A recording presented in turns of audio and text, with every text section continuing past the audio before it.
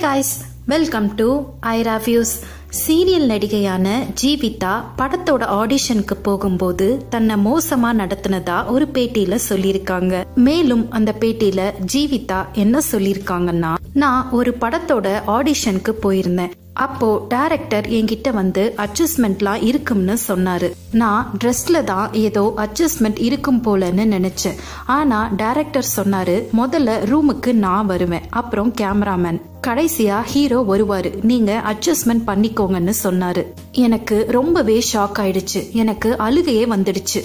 இந்த படத்துல நடிக்க வாய்ப்பு கிடைக்கலனாலும் பரவாயில்லன்னு அங்கிருந்து வெளியேறிட்டேன். எனக்கு ரொம்ப கஷ்டமா இருந்துச்சு. ஆனாலும் அந்த டைரக்டர் முன்னாடி நான் அழுகல. நான் அவர் முன்னாடி அழுதிருந்தா நான் தோத்து போனது மாதிரி ஆயிருந்திருக்கும்னு சொல்லி ஜீவிதா பேட்டியில பேசியிருக்காங்க. இந்த மாதிரி சினி அப்டேட்ஸ் தெரிஞ்சுக்கிறதுக்காக நம்ம ஐரா வியூஸ மறக்காம சப்ஸ்கிரைப் பண்ணிக்கோங்க.